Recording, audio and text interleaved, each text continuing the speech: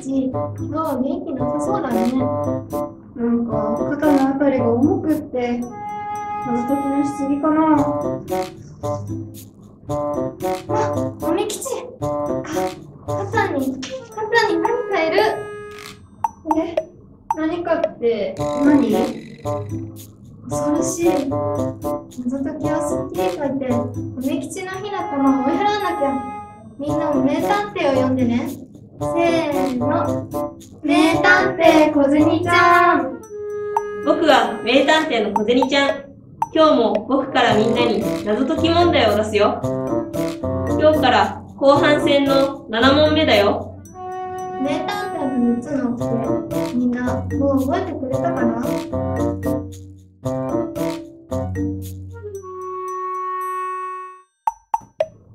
それじゃあ始めよう。今日も問題とパネルを同時に出すよ。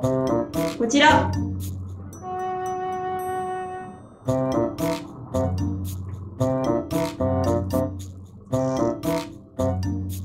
テナが示すのは何？だっておめきちを助けるためにも早く答えを見つけないと。ヒントなしでいけるかな？小銭ちゃん、わかったよ。答えは、すごい正解じゃあ今日のヒントはフラベイにお願いするね。わかった。じゃあここからヒントを出すよ。ヒントなしで考えたい人は聞こえないようにしてね。ヒント1。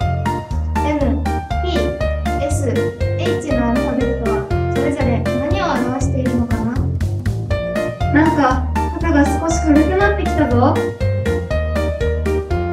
次にヒント2。数字は続いた長さを表しているんだね。何が続いているんだろう最後にヒント3。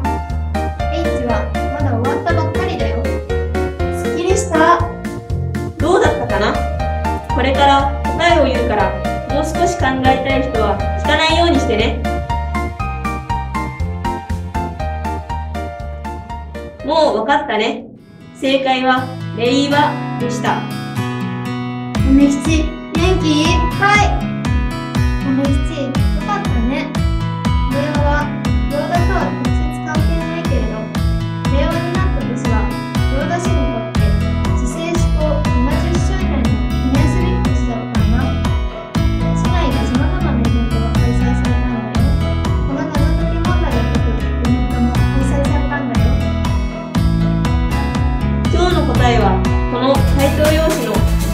D のマスに入れてみてね。